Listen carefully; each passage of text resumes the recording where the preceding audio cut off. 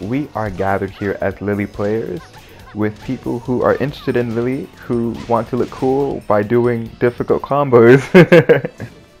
I'm going to be going over her jab into her forward forward 3. The toughest part about this is the timing and buffering the forward forward 3. You want to buffer Lili's Narcissus or her forward forward 3 in the very last frame of her jab if you get Lili's forward 3 homing mid, you're going just a little bit too fast. It can be helpful to practice with recovery animation on. Your character will highlight blue while the move is recovering, and this can kind of help as a visual cue. Coming up, I just have a couple different clips showcasing Lili's jab into her Narcissus combo.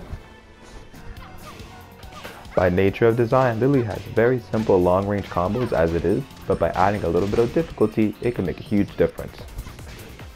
A stepping stone to this combo is Lili's forward 1-2 into her forward forward 3. I find that this one is actually easier to land than the other one. The limit does not exist when it comes to Lili's combos, so think outside of the box and you can come up with some crazy stuff. Thanks for stopping by, but it's time for my afternoon tea.